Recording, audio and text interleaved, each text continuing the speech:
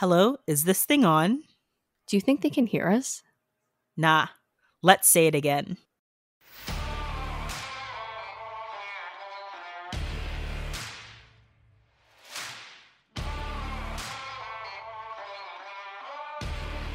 Hi, and welcome to the Gritty Nurse Podcast, an unfiltered discussion related to health and healthcare. My name is Amie. And my name is Sara. And we are your podcast hosts. If you're listening on Apple Podcasts, Spotify, Google, iHeartRadio, Amazon, or any other podcast listening platform, don't forget to subscribe so you can get updates to when we have our latest episodes. Also, don't forget to rate and review us. And if you like what you're hearing and you love our advocacy work, don't forget to go to www.grittynurse.com and click on the donate button. As little as $1 or $2 a month for a total of $12 a year will help us with our monthly podcast costs, such as website hosting, our hosting platform, audio equipment, and the time and energy it takes us to put out good quality episodes. We thank you and we appreciate you. Hi, everybody. I am so excited. We have been waiting months, right, Sara, for this guest. I can't believe we finally connected. We're going to have this episode. And honestly, this is our wheelhouse too. Um, myself and Sara are both um, obstetrical nurses. We have our background in maternal child. I have my master's degree in women's health. And I think this is just a very timely episode and also a celebration because her new book is out. So before I give any other clues away, Sara, please introduce our guest. I am delighted to introduce this superstar guest. And before I get started, I'd like to say that I am a huge fan. I actually worked in a menopause clinic many moons ago, and so I feel I feel very connected to this topic. So, without further ado, I'd like to introduce Dr. Jen Gunter. She is an obstetrician and gynecologist with nearly three decades of experience as a vulvar and vaginal diseases expert. She is the author of the number one bestseller, The Va- Vagina Bible, and has been called Twitter's resident gynecologist, the internet's OBGYN, and a fierce advocate for women's health. She writes two regular columns for the New York Times called The Cycle and You Asked, and has written for a broad range of outlets from academic publications to The New Republic, Chatelaine, Self, The Cut, and many more plus her CBC Gem series, Jensplaining. Welcome, Dr. Jen Gunter. It's an honor to have you today. Thank you so much for having me. So, I'm just going to start by saying um, you are the queen of all things related to women's vaginal health. You wrote the Vagina Bible and now the Menopause Manifesto. Can you tell us a little bit about your new book? Yeah. So the Menopause Manifesto was eh, basically an answer to what I heard on press tour for the Vagina Bible. Everywhere I went, I was asked about menopause. And it seemed women, you know, were not only desperate to have information about what was happening to their body and about treatments because many had been dismissed, but I also heard that, you know, women didn't have any culture in menopause that they felt that you know this was just they felt alone and lonely and so i i wanted to also give them information about how we got to where we are with menopause and where it fits in evolutionarily speaking yeah, I mean, like if I think about my own background and my culture, so like I'm from a West Indian background, in terms of us talking about menopause and these various different things, the word actually never really came up. Like I think in our culture, we had a variety of different ways of explaining what might have been happening, but we actually never talked about the word menopause.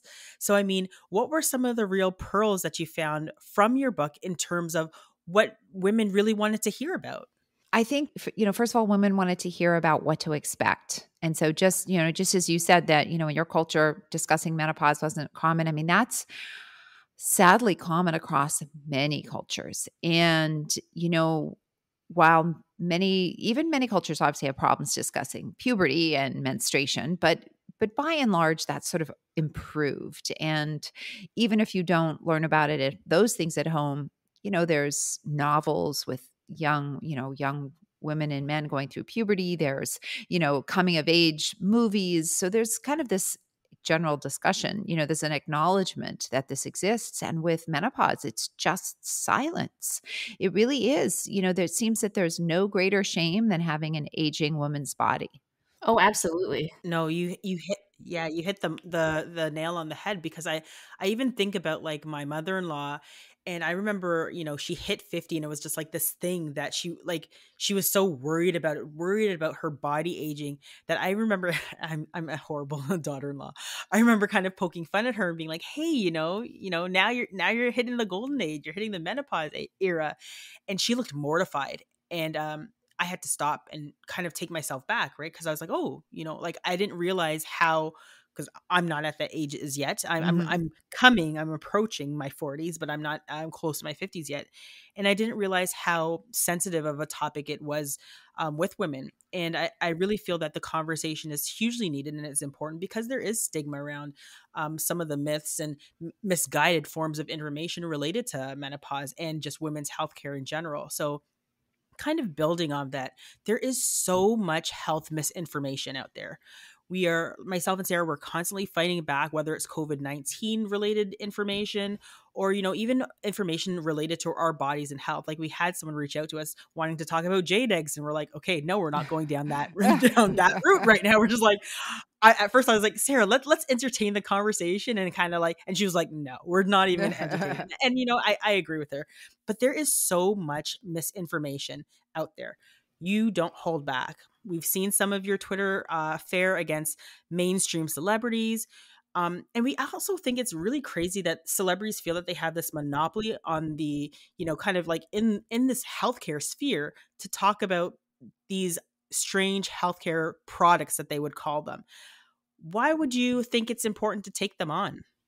Well, it's so hard for people to tell the difference between what is valid and what isn't when, you know, you're not an expert. And especially given the way that health information is presented now online. I mean, they're eh, with influencers sort of blurring the line and even medical influencers right? And so how yeah. do people know? How can people take away what's valid and what isn't? I mean you know goop is a great example of of all of the things that are bad with with how health information might be spread online because they actually have some okay content as well as terrible content. So how can you tell the difference? And if you're selling stuff on your site clearly you're biased and and people don't aren't don't really make that connection you know that that you know having a store means you're completely unbiased completely biased about the subject. And i think that you know the other important thing is is that you know when you're not constrained by facts you can say anything. So you have these sites that just are literally making stuff up and it gets repeated over and over again because of, you know, the way social media is and we all mistake repetition for accuracy and here you are in this swill of misinformation. Yeah, that's like the most dangerous part, right? Where, you know, there is all that information out there like and like how you describe that, you know, um people might not know that, you know, that is not the correct information. But I think we as healthcare professionals, we have to we have to speak up but that's one of the most difficult avenues right i don't see there are i wouldn't say there are few but I, there's not a lot of women that are out there openly dispelling these these crazy types of healthcare things that you know some of these celebrities and other people might be saying. So what do you think it takes in terms of um is it, is it about being courageous or is it just about being you know this is the right thing to do?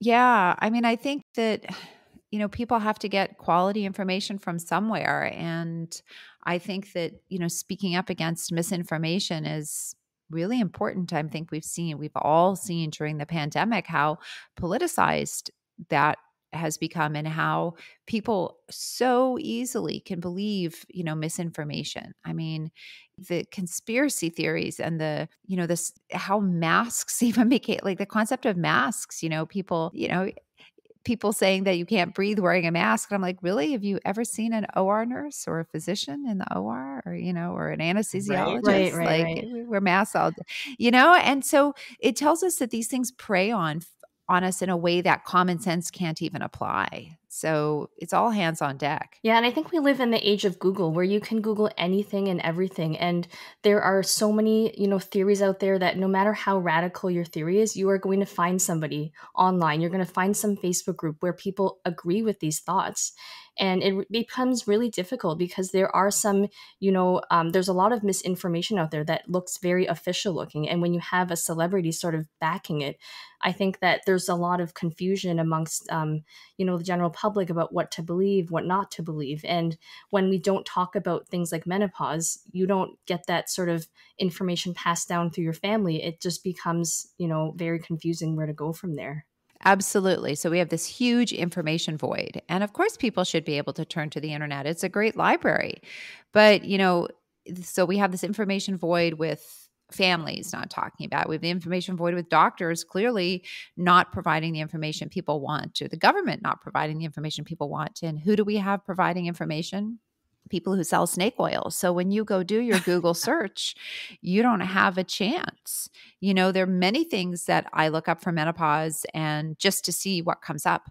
And it's the fourth or fifth page of the internet before there's anything that's actually factual that comes up on the subject. The first three pages are completely filled with influencers. And, uh, you know, if you're dedicated to um, jury rigging Google searches for your scammy product, it's very easy to do. Yeah. So bringing it back a little bit to your book related to the Menopause Manifesto. So, and speaking about so much health misinformation out there, what is one thing that maybe you can tell our, our listeners out there that was a myth that you've busted in your book? Well, I think I think one of the I mean, so I could think about two like a a, a big myth is uh, is that compounded hormones are safer. You know they're not. Right. they're less safe. And you know people are using unregulated un, untested unsafe products and they may be getting more or less hormones than they need. And i hope that i've done it in a way that brings people on board you know explaining how the people who promote compounded hormones lie about you know how they're different and uh, really are not giving people factual information. And uh, so hopefully hopefully i've busted that myth. Um, so we'll see. Mm-hmm. I hope so too, because I was I was gonna say like uh, I'm actually gonna buy this book for my mother-in-law, um, because she was actually going through quite the journey when it came to understanding what was happening with her body, mm-hmm. and um, it was it was very interesting because I think she started taking some of this information to her family physician, having those types of conversations, and then ended down the path of a you, you're you're probably gonna be like irks in your seat, ended down the path of like naturopathic medicine. So she's on a variety of different things that I think are bogus. but I mean, at the end of the day, I think the, the best the best thing I could do for her is um, empower her with the most correct information and um, say, hey, you know, there's an expert out there that's writing a, some really good stuff on this. Let's take a look at it together, and maybe we can make we can make some better health decisions. Yeah, I mean, it's really hard because you know, I mean, I see a lot of misinformation paths, like a lot, and uh, you know, it's i mean just significantly false information. And it's very hard for people to to turn from having heard that because you know this naturopath has spent an hour in the office with them probably on two or three separate occasions. You know they yeah. may have paid $500 $800 per consultation. They've had all this unnecessary blood work. Maybe that's done that quote quote shows that they're on the right treatment even though the blood work is you know a mm. scam. And so everything this whole house of cards has been built. And we all have this sunk cost fallacy, right? Like once we've put money and effort into something, it is hard for us to change our mind. Mm-hmm, mm-hmm. It's hard to cut your losses and hard to walk away when you're really psychologically set on this path that you're going on. I've kind of been thinking about, right. you know, why the media hasn't covered menopause as much. And I just think that we live in a society that's obsessed with youth. And not only that, I think there is a lot of misogyny in medicine, kind of from our own experiences as nurses and healthcare. We faced gender discrimination. And I kind of wonder where do women begin and how do we how do we attack this huge problem that we're having? Well, I think, you know, we attack it by talking about it. I think we have to have conversations. We have to say that it's not okay that we don't talk about women as they age. It's not okay that you know that we tie a, a, you know a woman's worth to a particular time in life when her ovaries were functioning in a different way you know i just think we have to demand better we have to say i want to see women of all ages represented you know in movies and you know in tv shows i mean we've all seen the 55 year old or 60 year old or older action star, right? Yeah. And, you know, his wife, the wife is 22 or 24. Mm-hmm. Yeah. She, you know, yeah. and and then I mean, it was Maggie Maggie Gyllenhaal, a gorgeous woman. You know, I think she was in her like mid thirties when she said this. You know, so clearly looks younger than you know than she is, and she's too old to play the wife of someone who's in his fifties or whatever. Yeah, I mean, so messed up. That's messed up. And if that's the only imagery that you see, you know, you start to believe that why would you want to talk about menopause because it's graduating to irrelevance. Mm-hmm. Right. I mean, you saying that just kind of gives me chills because it's it, it's it's so true. Like I'm thinking about it myself, going, okay, so like thinking back to some of the movies that I've even recently seen. Yes, the if you think about even just the the difference between the actor's age, like I was thinking about, um, I can't remember the name of the movie. It's it's slipping me now, but I think the the difference in age, I think the actress was something like she was around 19 and the actor was like in his 50s. It's like, well, that's not even a fair match, right? That's that's not something that would actually happen. Yeah. And and, and I think that rings so true. Like it's just that they don't make for whatever reason, aging women aren't sexy, but that's definitely not the mm-hmm. case. Mm-hmm. Right. And I mean, we have to ask all of society to do better because, I mean, in part, you know, I I imagine it, well, maybe I probably not true, but I I'd like to think that if if movies with uh, women in their 50s, 60s, and, and older were making hundreds of millions of dollars at the box office, there'd be more of them, you know? Mm-hmm. Uh, but there has to be somebody willing to take that chance. I mean, look at the roles that are offered to women in their 50s and 60s. You know, you're like right. a dowager, a plucky lady detective, you know, yeah. it's just all related to you know this vision of how women are supposed to be and it's this patriarchal narrative of irrelevant or barely competent or you know crazy cat woman. You know there's there's only so many players you get to choose. And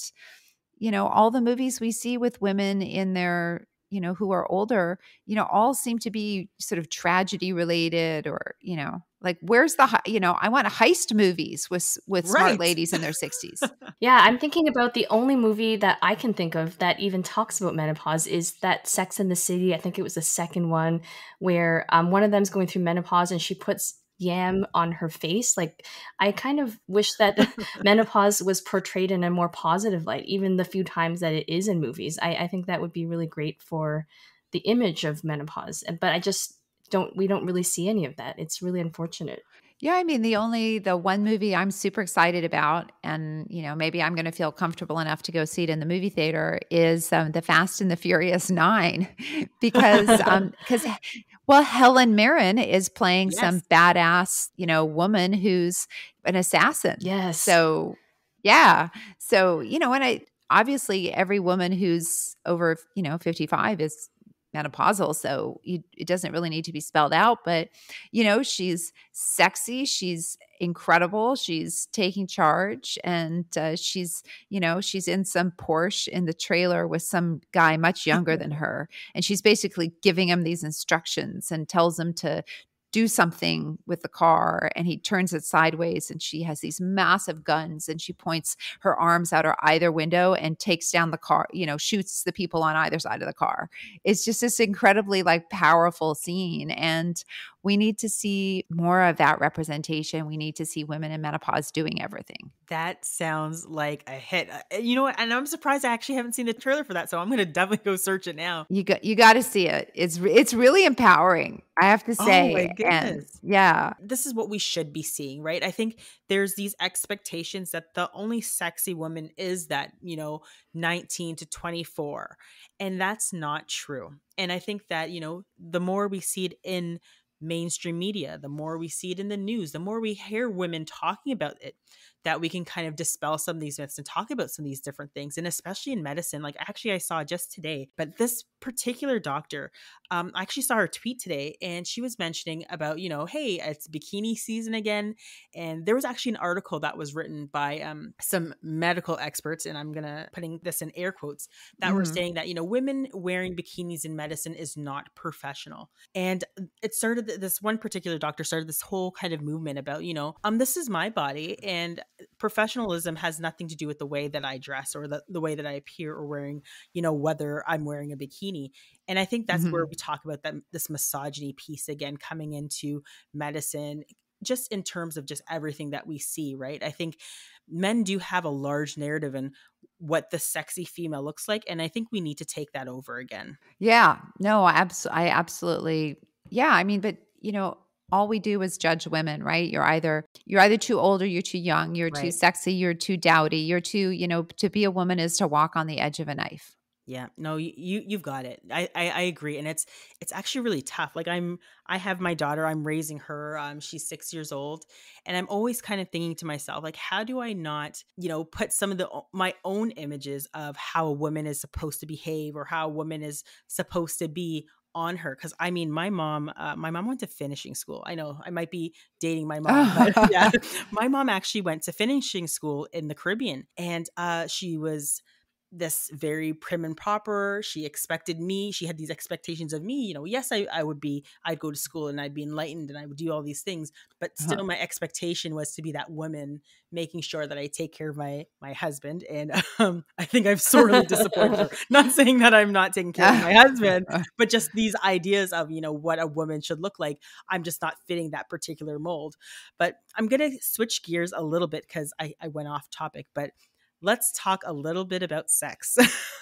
Um, okay. Um, so I have a question for you. What is the mm-hmm. average amount of sex that should happen or could happen after 50? If there is a if there is a number let's say. And we know that menopause changes something so how do we keep that fire going when it seems like the fire might be fizzling out? Well i don't think there's really any average or should with sex. I mean sex it's like telling people what you should have for dinner. Like right. you know people like all different kinds of foods. They have different appetites. And you know at different points in your life you go through phases right? Like like I, you know i'm going through a plant protein phase right now. I might not stay with it forever but you know so i think that I think the most important thing when we talk about sex is that almost everything that people believe is related to a patriarchal narrative. It's right. related to this narrative of, you know, a heterosexual woman being hot and heavy every single time, you know, a penis walks into the room, you know, the glory of the penis.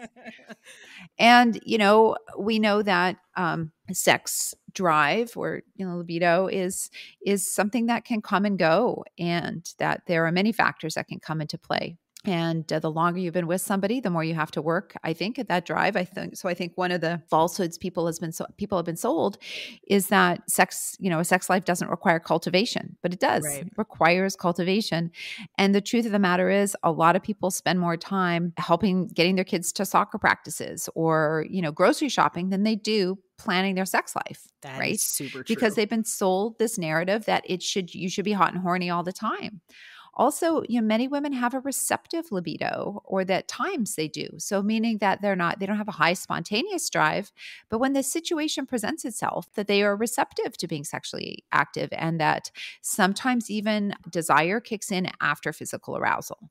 So, I think it's really important that people get educated about all those things and that we teach people that they have to tolerate not only celebrate not only the highs in their sexual relationship but also tolerate mm-hmm. the lows. Mm-hmm. And you know, so so speaking of menopause definitely that that can have an impact for some people, but it doesn't for everybody. And sometimes it's related to other factors. So if you're up all night because you're hot, uh, that might affect, and you're not sleeping well, that certainly is going to affect desire. If you've got depression triggered by menopause, that might affect desire.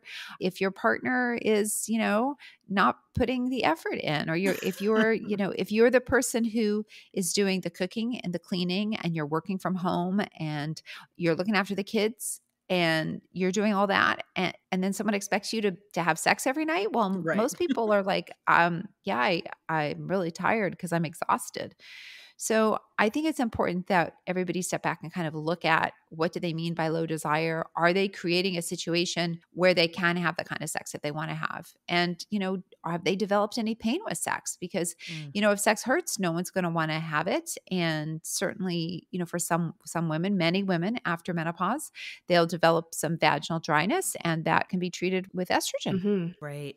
Yeah, actually, you know, it's it's it's very interesting that you said that because I think that that might be kind of the reason why some women just don't. So I, am going to revert back to talking about with my culture. And this is way too much information that my mom gave me. And oh God, I know she listens to my podcast. I'm so sorry, mom. Um, like she was, telling, she was telling me, she's just like, yeah, me and your dad don't do anything anymore because it's dry down there. I'm like, well, why didn't you fix the problem? Like, if it's so dry, like just you know, like go and talk to your doctor about it. But I guess that apprehension. Oh my God, my parents they say the same thing. I know they're gonna kill me for saying this too. Yeah. I mean, I mean, so here's the deal. So first of all, there's treatment. Some people don't want to do it. They just don't want to do it. And, you know, sometimes people have been told there's nothing right. to. So there's also that. But there's over the counter moisturizers for people that don't have prescriptions. But I'll tell you a lot of time, and this I'm not saying this is what's okay. happening in your parents' relationships for either of you, but a lot of times there's also right, erectile right. dysfunction and the man can't have sex. And so the patient then blames it sort of on her dry vagina, but really there's kind of two things going on. I, I hear this all all the time in the office. So I'll say, "Oh, well, we can fix that." You know, "Oh, he looks like, you know, someone might come to see me for another reason and during the exam it's clear they've got some significant vaginal dryness." And I'll say, "Gosh, things are really seem really tender down here. You know, how are you having sex?" "Oh, well, we don't do that anymore." Oh, okay, well, do you, would you want to? I can give you estrogen. And then, no, I don't think I want it. I'm like, well, really, the treatments are like really easy. I mean, there's even a ring. You can just put it in there and change it every three months. Like it's as low fuss as you can get. And then finally, after poking and prodding a little bit, he goes, oh, well, he can't anyway, and right. he doesn't want to take any medication. So, because you have to remember, it is really common. And so, a lot of times it's easier. It's this is sad, but it's easier for the woman to blame her vagina than to blame her partner for not wanting to take, you know, medication. I mean, I see patients all the time who want to have a sex life and their partner refuses to take drugs for erectile dysfunction. Wow. Refuses. That's so bizarre. Well, you know, isn't it? like, did they ever give you a reason as to why? No, but you know, a few years ago, Viagra made an ad specifically for that. Like, they were basically targeting women. Um, hey, try to like get your man to go into the doctor to get a prescription. Wow. That's unreal. Yeah. I, so, you know, so while there's some who do, I think this sort of toxic masculinity, sort of men are virile all the time, I think that really yeah, affects men too. No, I, I I agree with that, but I'm I'm just envisioning my mom like you know walking down the aisle in Walmart or whatever, trying to look at lube, looking over her shoulder, making sure nobody is looking at her.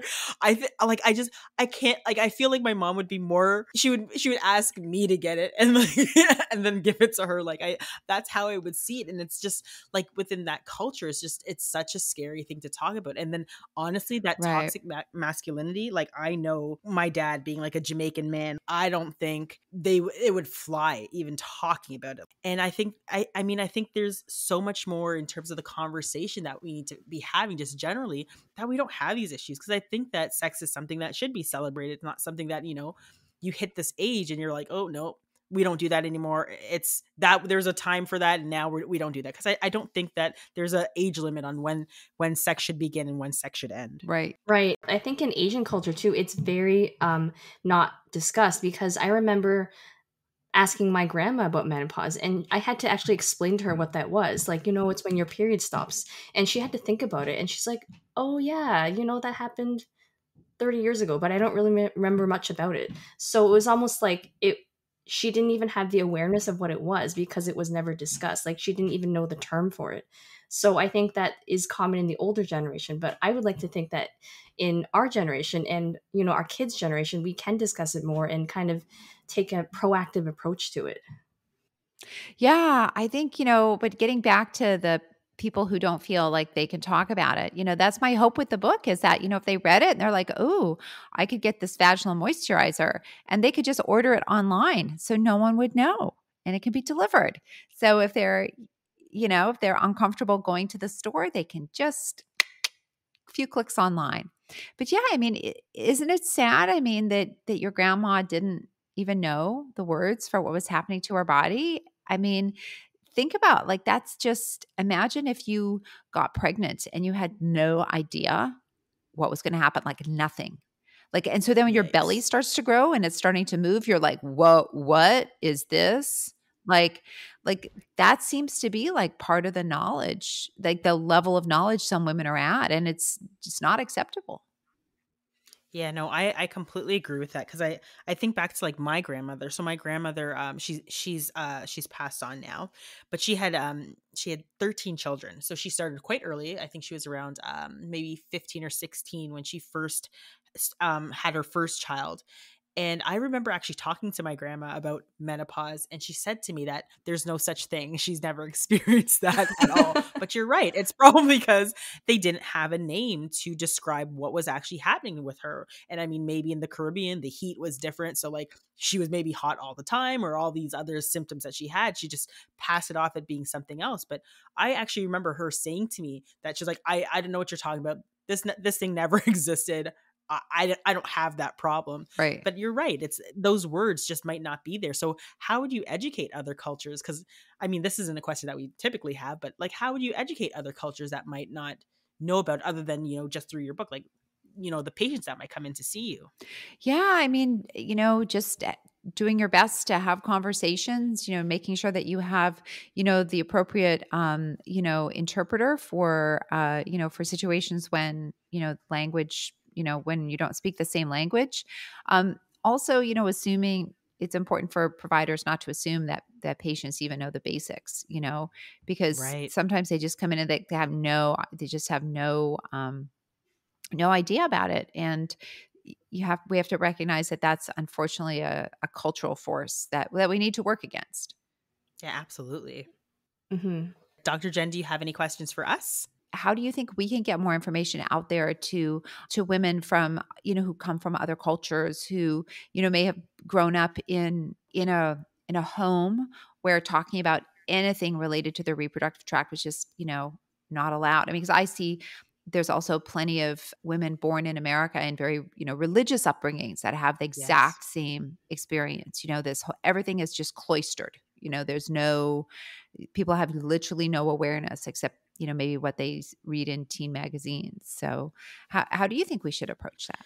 That's a really good question. So i'll talk i actually haven't disclosed this before so this is very interesting to, uh, to those that might be listening. So i actually came from a very very staunchly religious home like very very religious uh, pentecostal christian home. And sex was like like there was no discussion. It was just like right. it was like i'd ask my mom and she'd like the bible says you can't have sex. Boom bible closed. Like that was it. Right. and then, and then for me my sexual experiences started at a younger age because instead of having you know that that curiosity or at, or having you know my mom or my dad answer the question like my dad was just like no. Like even my period it was like no. I those things just never went in that direction. He just he just didn't even want to know about it but like when i think about you know my own sexual experiences as a as um i don't want to say it wasn't i wasn't a youth but as a like a mid-age teenager i think it was because i didn't have that information. Mm-hmm. so i think the the the best thing is to start talking about it early and open as soon as you can. Like like I, I don't think people should be afraid of their bodies. I don't think women should be afraid of their bodies. I remember actually um the very first time where we had sex ed, and I think it was like maybe grade five and grade six, everyone was squirming. I already had taken the mirror down there and it was like, I kind of uh-huh. have an idea of what's happening.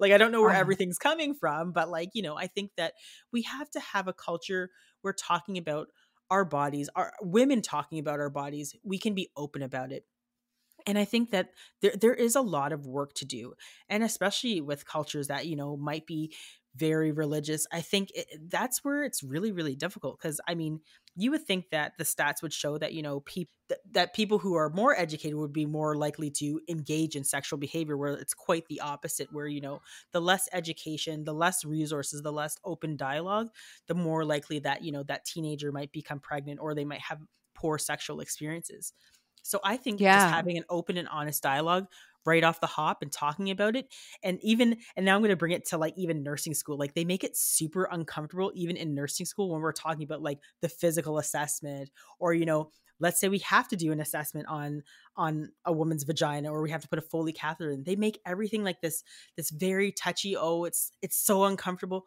yes it's uh-huh. uncomfortable but the, these are things that are a part of the normal human body and we have to talk about them openly so i think my first take would be we need to discuss about it discuss about sex and sexuality and these things much earlier to dispel some of these myths and just really like you know let people ask questions whether whether people think they are silly or not. I think it's important to talk about these things. Yeah i absolutely agree Yeah, and if I could jump in there, I think um, there should be more of an emphasis on women's health in general in nursing school. Um, I'm not sure what's covered in medical school, but I remember in nursing school, the only thing that was ever discussed about older women was osteoporosis, and they totally skipped over menopause.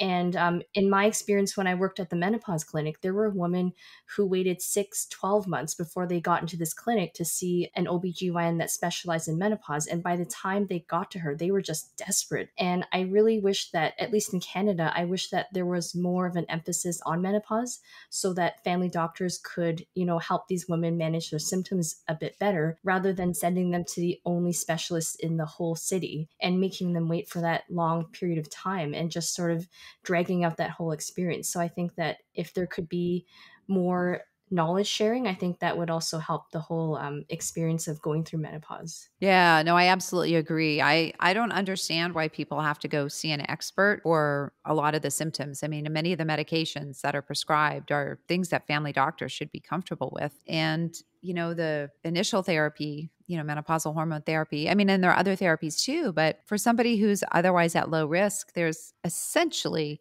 you know, it's about as low risk as you can be to do a six month trial of the hormones just to see how they help right? So and then a decision can always be made to continue or not you know? So there's no reason why someone should be you know suffering for those 6 months while they're waiting. Something could be done to start. And so hopefully you know my hope is that my book also helps to educate you know physicians as well as patients. Yeah thank you so much. I mean I think to myself about my mom's journey and I kind of remember watching it as as as it unfolded as I was younger and I remember when she kind of got to the point where with her menopause journey i and I, and i always worry about it happening with me and i don't think it'll happen the same way but mm-hmm. i remember her um, you know she was bleeding she had endometriosis and her bleeding ha- had gone on so long and this was probably in the early 90s that instead of having you know I think the surgeries and things are much different different in terms of how it's handled. Mm-hmm. They took everything. Like they just took everything. And I mean I I think that's where